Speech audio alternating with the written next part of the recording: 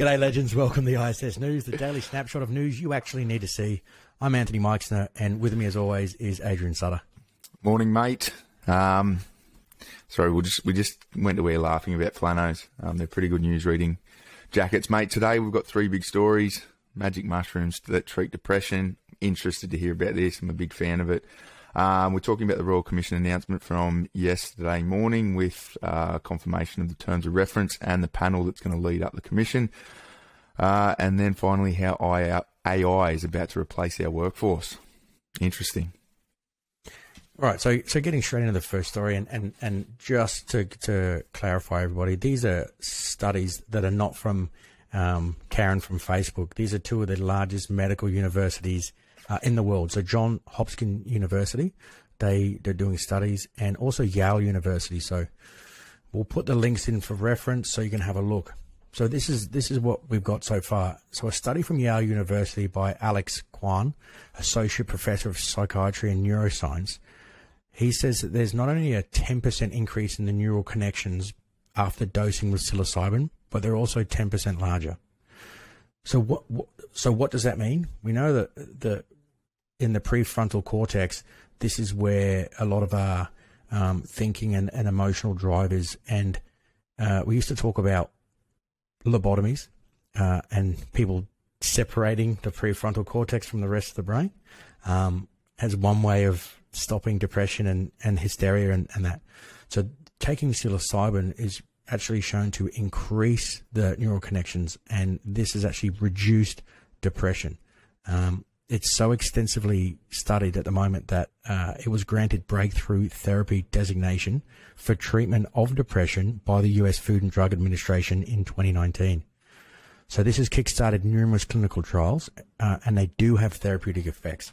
There's some other points of reference I'd like to take you to. So John Hopkins University studying into psychedelics, um, they have stated, and I quote, Two doses of the magic mushroom chemical psilocybin relieve symptoms for people with major depression for at least a month.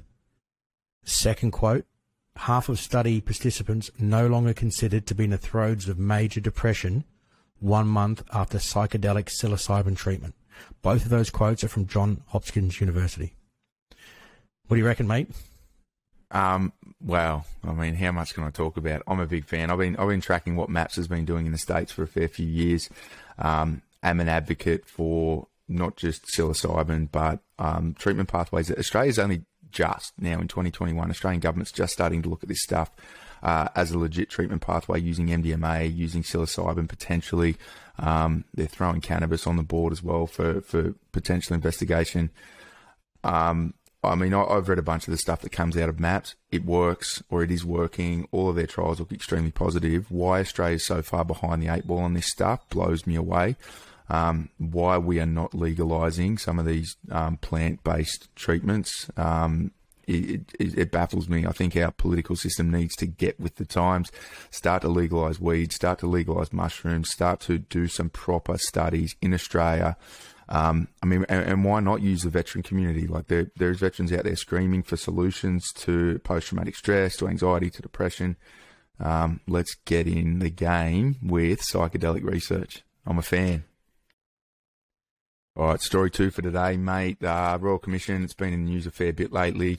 Uh, yesterday, the Governor General, His Excellency David Hurley, uh, issued letter, letters patent which established the Royal Commission, and uh, the terms of reference are now available. We're going to drop the link uh, below this on socials and on and on YouTube, so everybody out there can get their own eyes on the terms of res- uh, terms of reference for the Royal Commission.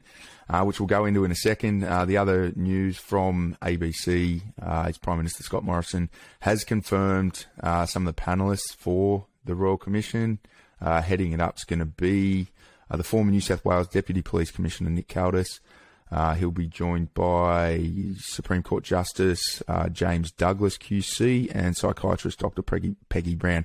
Now, I know nothing about these three people, but we are definitely um, putting feelers out to people who are subject matter experts in those three fields in law, uh, in the policing community, and, and obviously in psychiatry uh, to get some feedback, which we're going to bring you next week. Um, just quickly, but I, I, wanted to run through a few of the terms of reference points um, that we've seen so far. Now, the terms of the original original terms of reference um, kind of guide came out a few months ago, and then they did hold a bunch of uh, meetings, getting people's feedback, getting feedback from the veteran community. I think they got hundreds of letters in. The final cut for the terms of reference look very similar to what came out at the start. They're, they're, I mean, there's a lot of stuff in there I like. I like they're going deep into um, pre-enlistment, uh, mental health and, and, lifestyle kind of factors. I think that definitely plays a lot to, in, in, this space. We've, for so long, we've been looking at have you joined the military? Did you go overseas? Yes, yes. All right, that's where your problem started. But I think a lot of this shit starts a long way before people join the military, which is something that Sykes, uh, defence, and government need to be looking at. So it sounds like they are. It's still, I mean, everything starts off with we are going to look at a systemic approach or a systemic failures. Um, I mean, that's obviously what they've got to do, but that still leaves it very broad brush. How much time they're going to spend diving into this in the actual Royal Commission, into this pre-enlistment stuff and, and full life cycle um, for defence members will be interesting. Uh, the the other one that I thought was good was um, Bravo Four uh, access to services. That's been a massive one for us for so long. Um, it, uh, in the past, they we have built bricks and mortar service offerings in the in the veteran welfare and, and kind of mental health space in garrison towns. Uh, and as we know, most defence recruits come from country Australia or, or, away from capital cities. So realistically, once you transition out, all those service services are built in major cities or, or garrison locations. You've got nothing around. So um, access to services needs to be a big one. Obviously, we want everything to go digital. It's 2021. Come on, get with the times. Um, other than that, my only feedback at the moment is it, it still looks fairly broad, but I guess when it's a one pager and you've got to keep your terms of reference short, they're, they're keeping it broad and hopefully, fingers crossed, they dig into this stuff um, a lot deeper.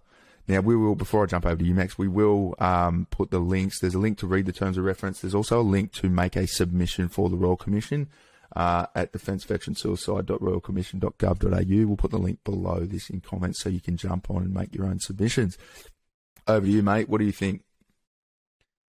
Uh, I like it. They look good to me. I think just reiterating what you said, I think that pre-service history is so important, and, and looking at, at childhood and uh, maybe increasing the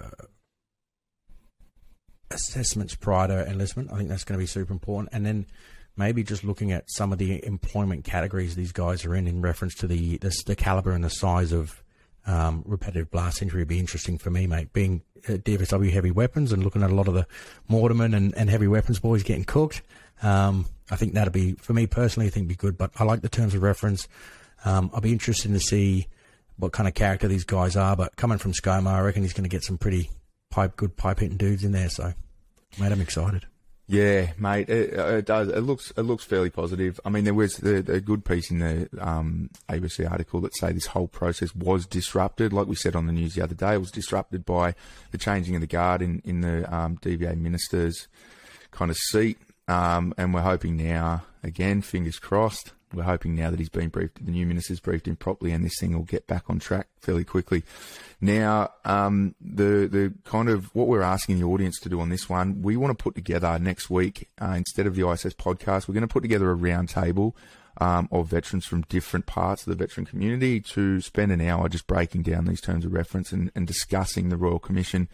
Uh, so please, in uh, the comments below, just drop what your thoughts are uh, and and a, what your thoughts are on this Royal Commission terms of reference. B, um, if there's anything you would like to hear brought up on that roundtable panel, and, and C, if you want to be on it, or if you know someone who should be on that conversation roundtable next week, um, share their name or, or, or, tag them in this post, and, and we'll get them on uh, the chat next week. Because one thing that we're very conscious of, we don't want it. We we are at the moment we we're voicing our own opinions on this news piece. Um, this needs to be voices from all over the veteran community. We can't we can't have one or two people just standing up and saying they're the voice of the entire community. We want to hear from everyone and actually get feedback. I know a lot of the submissions for terms of reference came from a lot of the older ESOs. Um, there's there's hundred thousand or so young veterans out there uh, that that need to have their voice heard in this. So drop comments, share what you think, and we'll get you on this roundtable chat next week to break down terms of reference. So here's a good story to, to round out the day. Uh, it's not, it's a horrifying story, I think, uh, growing up in the 1980s with Terminator, but here we go. So AI replaces workforce. Uh, that's the headline of the story. Um, Grace, a research associate at University of Oxford's Future and Humanity Institute, and her colleagues have put together a impact project uh, about Machine Intelligence Research Institute. And they surveyed 352 scientists um, and compiled their answers in a prediction about how long it may take for machines to outperform humans uh, in various tasks. Now, some of those tasks they did, they went from as basic as folding laundry, driving a truck, to retail, to writing a New York Times bestseller, um, all the way up to surgery, maths research, uh, and then to the other end of the spectrum was AI researching and full automation of labor. Now, most of these uh, areas that they looked into, they're within the next 50 years, uh, even all the way up to mass research and surgery, those jobs are obsolete. Now, they've got a big sliding scale of, of about 20 years either side. The interesting point is that um, I'd be is the motive piece. So wh- where's the art? When can when can they? So we're doing New York Times bestsellers. That's a bit scary. So all your authors out there, budding young authors, probably don't go to university and learn how to write. Um, but when does art actually become part of that, and and what will AI not be able to be? Is what I'd be interested in on your thoughts, Adrian. May I, I, I think that timeline, the timeline we're looking at at the bottom, I think you can probably chuck that up so people can see it too. I think that's way too long. I reckon we've got about 20 years and, and all human manual output's kind of irrelevant. Um, the creativity piece, we can already do it. Um, there's already AI out there that, that can um, take music, create its own music, just push those emotional buttons in humans. I mean, I, I, look at this and I go, realistically, the human brain is just sophisticated AI. We've got to get to the point soon where we can make one that completely replicates it. So, what can't they do um, is the question. I think, realistically, the, the bigger question here is um, machines versus jobs. Going forward, like jobs, every election, politicians go jobs, jobs, jobs. It's like the Western world's election promises is all jobs. How we can go forward with innovating and progressing in the um, AI and kind of robots taking over process while still promising jobs at every election. I don't think that's you can't. There's there's got to be a trade off. Um, all of these, I mean, definitely trucks are going to be um, automated fairly soon. All, all um, factories are going to be automated fairly soon. We probably get, technology is probably there to do it now. We just don't because it's going to put too many people out of jobs. So I guess the counterbalance, uh, the counter argument is if we do get to the point fairly soon in the next decade or two where robots and machines are taking over all of our jobs, are we going to move to a concept of um, basic kind of the dole for everyone, universal basic income? Um, and that's a whole nother can of worms. But that's that's the trade off. All we need to do now is find a way to give people money without having to go to work, and then we can just let robots do the rest for us. It's a positive, mate. Mate, I'll be interested to see two two sides of this. So one is where is the purpose when you sit on the dole and you don't have a job, and every, and a computer can do everything better than you? What what do you do? Uh, and the second one is um, what's the new election promise when it's not jobs? Is it I'm going to stop people killing themselves? I'm going to stop suicide. I'm going to improve mental health. Is that the new election promise? And that could be exciting. It would be exciting, mate. And the, then the third one is the way identity politics is kicked off these days. How many decades until robots get their own identity rights and privileges, mate? That'll be an interesting one. Hopefully, I'm not around for that one, mate. I don't have the patience. Uh, exciting times.